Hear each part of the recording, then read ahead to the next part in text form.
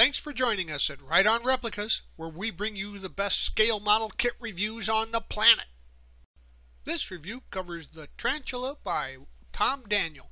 It's what they called a Wild Digger model, which is a code word from the 60s for a custom scale rail, which in other words is a dragster.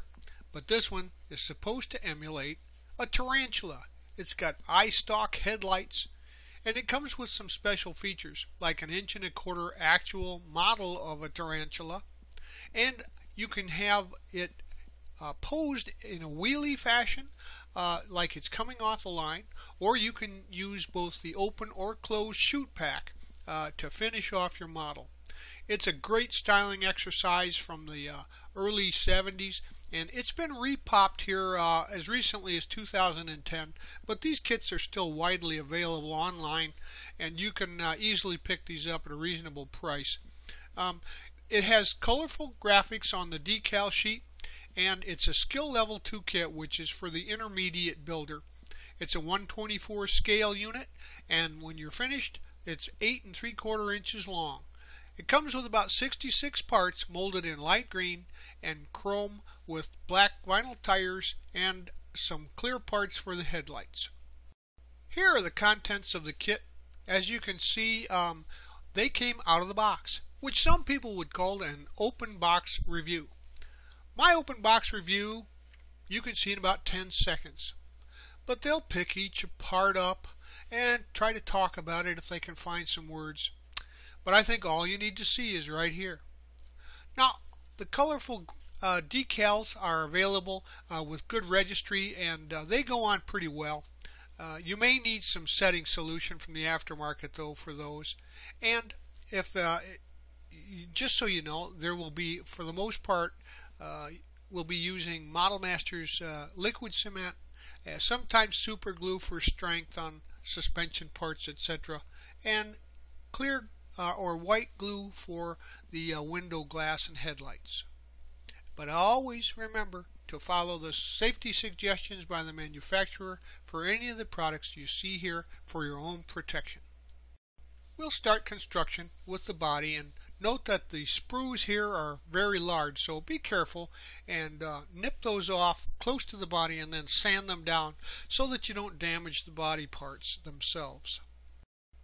As you can see here, the uh, the body has a couple of mold lines on it that need to be addressed. Just sand those smooth, uh, as well as, of course, the uh, sprue connections. But some of the tabs are still uh, visible here, and so you'll need to do some body cleanup.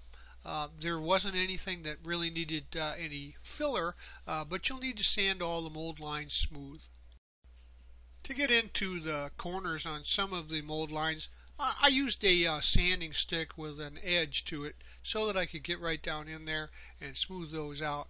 And you'll uh, find that uh, a final sanding with some light sandpaper, uh, at least a 600 grit, will uh, take care of any uh, of the sand scratches from your emery board there and make a nice smooth finish. You're going to want to go over the entire body to make sure you have a good clean uh, body without any um, blemishes to uh, prepare for paint.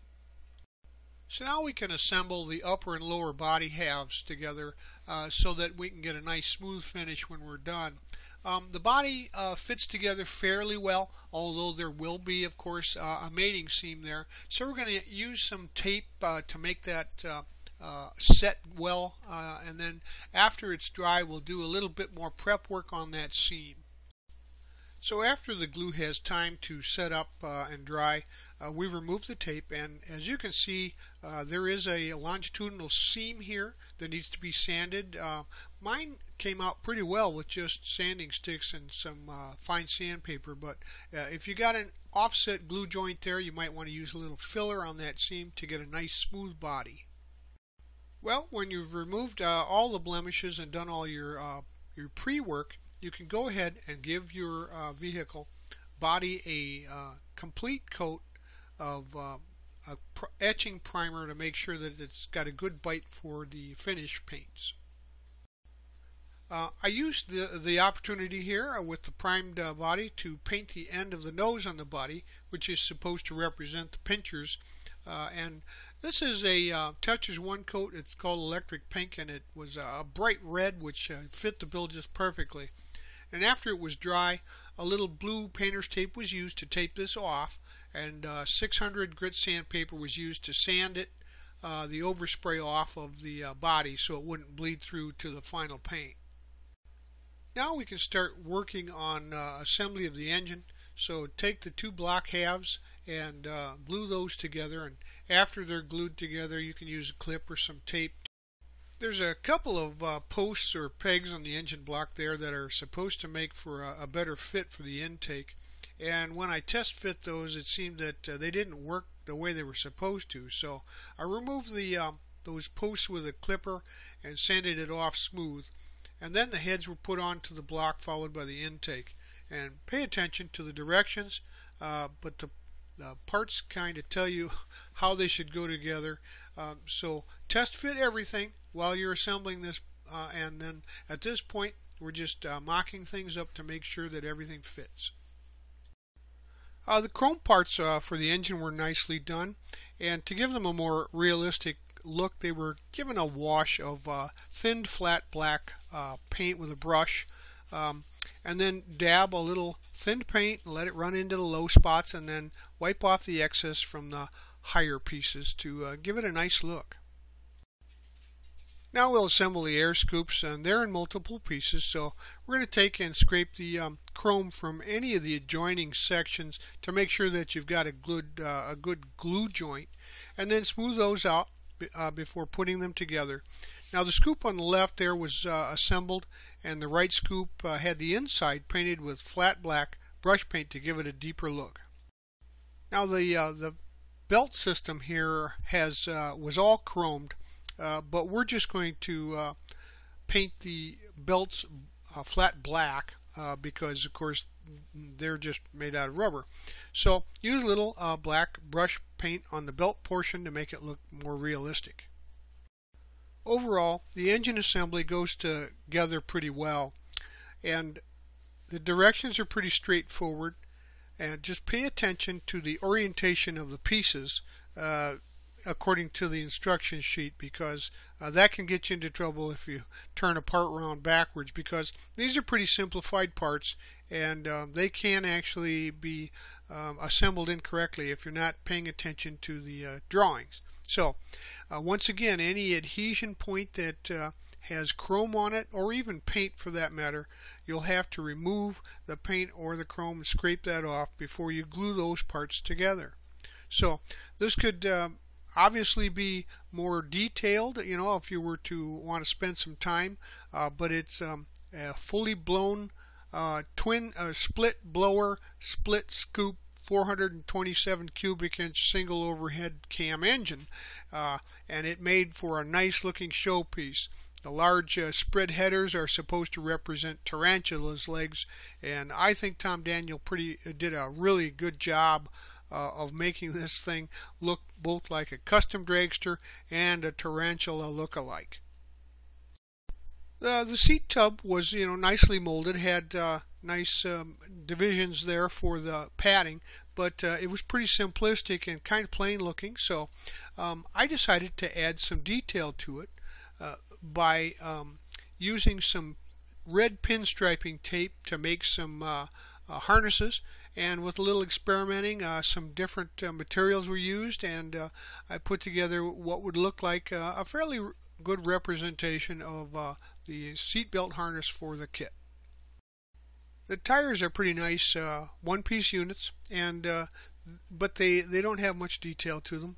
Um, they were sanded with uh, an emery board to give the uh, tread a more realistic used look, and then another nice detail that's easy takes just a few minutes to do that, but as you can see, it looks more like a, a realistic worn tire on your dragster uh, than the shiny edge that it comes with to uh, tone down the chrome a little bit, uh, I used some more of that thin black paint, uh, it's called a black wash, on the uh, chrome wheels uh, to give it a more realistic look.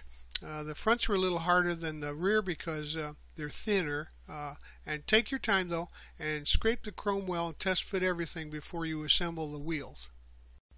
Now with the body thoroughly dried, uh, keep the tape on the uh, pincher section there up front and go ahead and give it a, a spray of uh, color of your choice. Um, the instructions uh, indicate using a green, so that's what I used.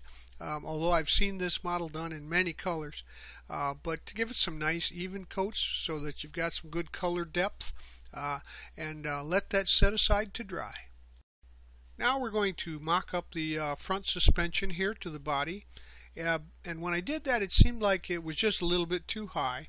So the pegs or posts, uh, the two uh, pegs that are used to uh, mark or uh, install the suspension into the body I thought were a little bit uh, too long. So in red there, as you can see, I had those um, trimmed off so that it sets a little lower uh, on the final uh, assembly.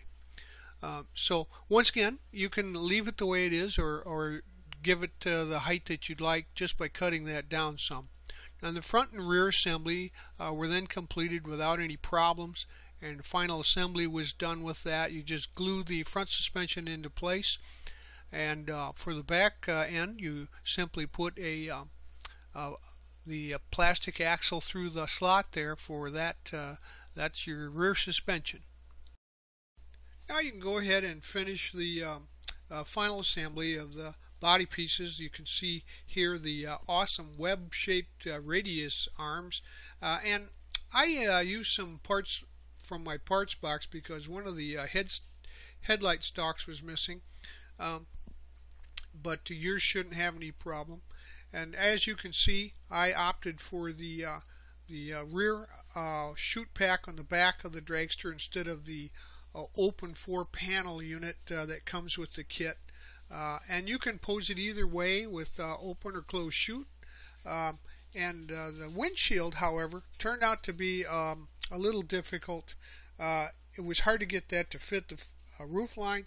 Be patient and use uh, use take some time and do a little uh, sanding on the edges to make sure that you get a good fit there. And use some clear uh, glue or white glue to install that. Uh, but other than that, the decals go on fairly clean and easy. the only ones that really need setting solution are the big tarantula script and uh, the spider webs, which uh, go on top the roof line there. Uh, but they make for a really nice touch, so I would uh, go ahead and include those uh, with your build to give it a final finished look. And uh, I think that you'll enjoy this kit. Uh, so if I were you, I'd go out, find one, and put one on your shelf. Well, we hope you liked this premium model kit review, and so that you don't miss any more, please subscribe to our YouTube channel, or you can find us on Facebook, and always at our website, www.rightonreplicas.com. Thanks.